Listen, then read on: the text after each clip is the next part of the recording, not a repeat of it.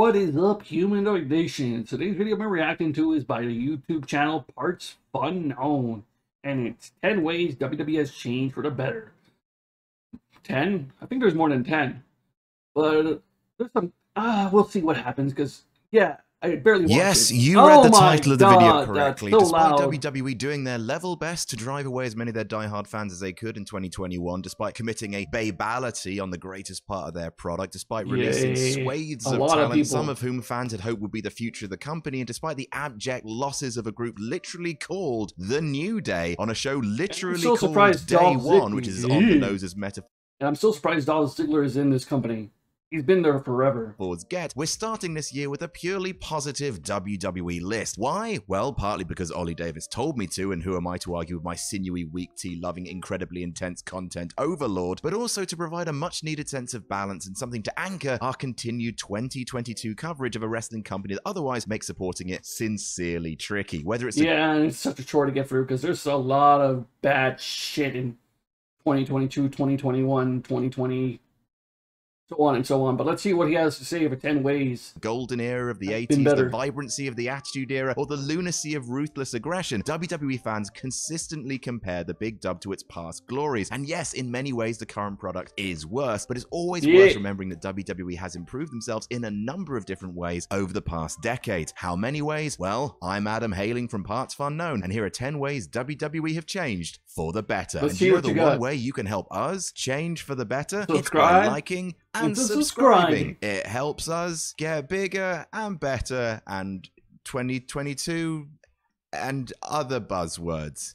Subscribe, pl- please. Number 10, actual finishes, mostly. The 80s were a hell of a time to be a wrestling fan. The Oh, Rock and yeah. Wrestling Connection, the numerous amazing characters that made up the mid card to Hulkamania, the incredibly deep tag division. Those were Oh all my God, good. tag But you know division what was was also amazing. synonymous with wrestling in the 80s? No fuckers ever losing. Seriously, for modern fans who've got used to a satisfying match conclusion on pay per view, 80s WWE is borderline unwatchable, with at least Oh, 75% of matches ending with the old standard double count out followed by WrestleMania brawl to 4, the back. Guys like Roddy Piper and Jim Duggan refusing to ever do a job. Even the Attitude Era was plagued with endless DQs and run-ins. It's why we get up in arms over finishes like Rhea Ripley versus Charlotte Hell in a Cell last year, or The Fiend versus Seth Rollins, because they're far and Oh, away the oh, outliers in was a this day and age. Say what you want about some of the more questionable pay-per-view results we get today. At least WWE don't end the main event of WrestleMania on a DQ anymore. Here's looking at you, WrestleMania 8. Oh my you God, I forgot about that. And speaking of Mm. WrestleMania, number nine, two night WrestleManias. Please, please, please, Um, please. I'm iffy on that. Two nights of WrestleManias, sure, it could be adding more people, but it's still two nights of WrestleMania.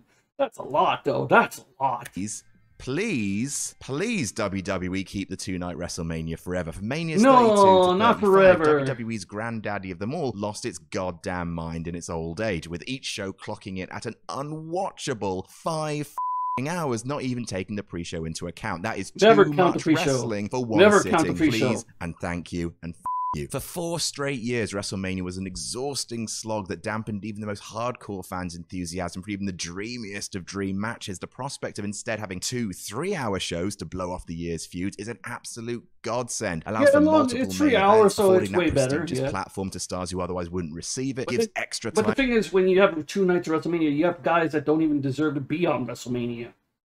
Like Otis versus Dolph Ziggler. Why the fuck would you put Otis? I like Otis, but really, why Otis on WrestleMania?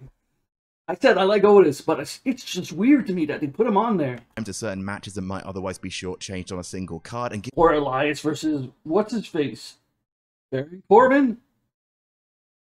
I don't This is a bloody break to recharge our batteries. This is a positive change. Please keep it WWE. We beg of you. Number eight, better athletes. Once upon a time in the 1980s, the average WWE mid-carder was a barrel-chested, unshaven man who'd smoke a cigarette to warm up, plod down to the ring, have his high spot of the match be an arm drag before wandering away to drink a hotel dry and fight a policeman. A lot of that was excused because guys like Jake Roberts or the Ultimate Warrior were amazing characters, but there's no denying that today's roster is top to bottom premier athlete, and also Omos is there. Even the main event I of was about today, to say, previously almost, the home almost. of slow giants who taunted more than they tussled, is now whip fast and crazy agile. The day one result is mind-boggling, but you can't deny that all five men gave it socks. Even after all the releases, WWE's roster is packed to the gills with super athletes. If only the big double Oh, yeah, Shinsuke is still there. potential, every pay-per-view, sorry, premium live event Premium. could be the wrestling show of the year. Number seven, a better mix of kayfabe and reality. Ever since the pipe bomb, reality and fan expectation have been a fundamental part of WWE storytelling. The fact isn't always to WWE's liking. Daniel Bryan's road to WrestleMania 30 was not the plan, and let them Did it never start with the pipe bomb? was. But I'm pretty sure it started large, before the fact that. fans are smarter, more opinionated, and more willing to enforce their opinions on the WWE product is a good thing. It gave us the man Becky Lynch, Sasha Banks versus Bianca in the main event of Night 1 WrestleMania, and numerous other examples of fans forcing WWE's hand. Compared to previous generations where the fans had next to no say in who was in the main event, today's product is still occasionally, not always, but occasionally willing to bend its course based on who the fans decree is most Sometimes. deserving. And then Big E gets beaten by Brock Lesnar, and no damn it, we're staying positive. Number six, Roman Reigns, and talking Yeah. about fans receiving their I admit, I like Roman Reigns' entire thing as a tribal chief. At least it's interesting now, because before he was massively boring.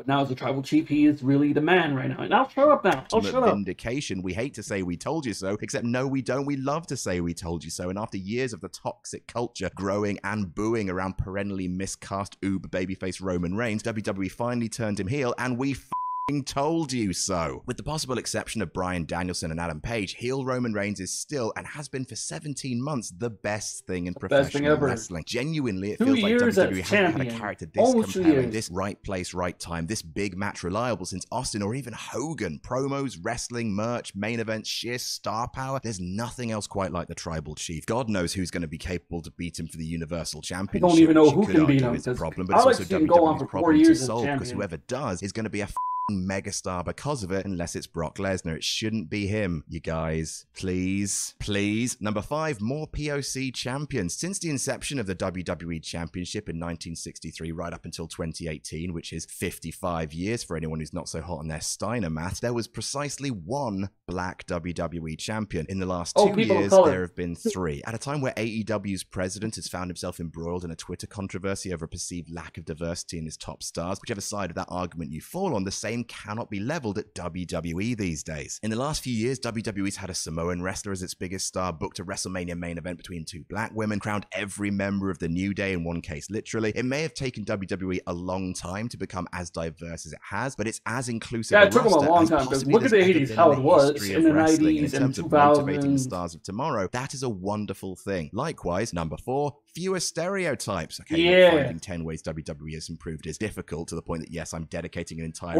Orient to Express. congratulating WWE for not being as offensive as it used to be. Orient well done, Express. WWE, big gold star for you. Among the problematic tropes that used to be everywhere but Orient currently nowhere in Express. WWE's product, sneaky Japanese salt-throwing bastards, black and Samoan people having Orient harder heads than everyone else, Mexicans riding lawnmowers, people doing blackface, Islamic people summoning terrorists through prayer, foreigners screaming death to America, and Vince McMahon saying the N-word on pay-per-view, sorry, premium live event. Sure, WWE occasionally Orient still Express. showcases a heel whose main crime is being proud of the country they come from, but by and large, things are better these days. Mostly, a bit. And speaking of divisions who've received a million percent more respect than they used to, number three, women's wrestling. Cast Finally. your minds back 10 years. In 2012, women's wrestling was an irrelevance. At WrestleMania It 28, the only women's match ass. was No Beth one Phoenix and Eve. Torres versus Kelly Kelly and Maria Menounos. At SummerSlam 2012, there wasn't even a women's match at all. It was truly the era of the Divas Championship piss break match. In the years since then, the NXT women's division changed the better. game. The women's revolution happened. women are women's Money in the Bank matches, Royal Rumbles, two separate WrestleMania main events. We have the luxury of complaining that stars like Becky Lynch or Charlotte Flair win too often on pay per view, sorry, premium live event, when 10 years ago such a complaint would be unheard of. By far and away, credible women's wrestling, belts that mean something, stars capable of shouldering pay per views. WWE's women's division is by far the company's most visible change for the better. But also, whatever it's doing with its women's tag championships like J- Jesus. What?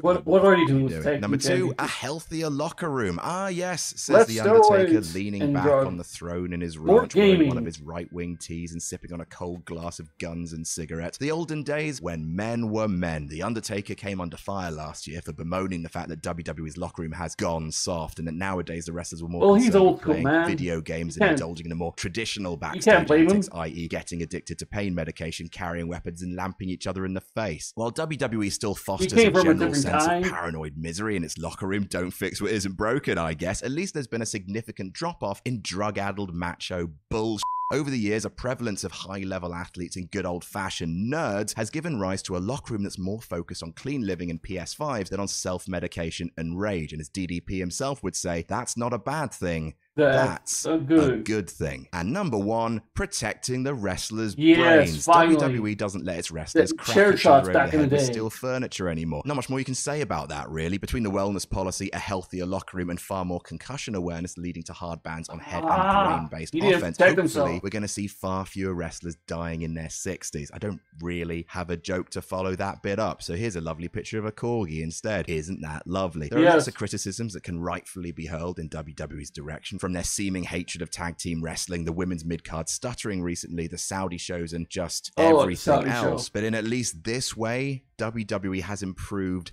light years above where Oh, it yeah, used to definitely. be. How Hell, it used to well be and how it is now. As close to a smile as we can, right? Right? And that's our list. Let's try and have a positive Oh my, comment. it's like the flirt, like protecting their brains. Holy shit! Like in the eighties nineties, all those unprotected chair shots, like Ken Shamrock, Mankind getting hit eight times at the Royal Rumble.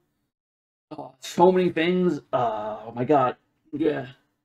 I'm surprised some of them are not even brain damage, but like like lately now, like I before I always would say like, hey, we need blood, but then I saw the AEW match with CM Punk and MJF, and even the people I was with, I was they're saying like, God, I knew we wanted blood, but this is way too much. I know it's an AEW match I'm talking about, this is WWE. Kind of the same thing I'm talking about with blood and all that stuff. But yeah, we changed our when we were young and we would always ask for blood, but now watching with blood as an adult, it's not the same anymore. But it's good on them that they don't do chair shots anymore, and that less wrestlers are doing drugs and drinking it up and having more gaming and stuff. Because like in the '80s, it was like a drug-fueled place. Jesus, was it ever? But anyways, that's a great video from partsFUNknown. Always have great content. Anyway, that's it for now, Humanoid Nation, Humanoid Freakout. Bye. Pasito a pasito, suave suavecito, nos vamos pegando poquito a poquito.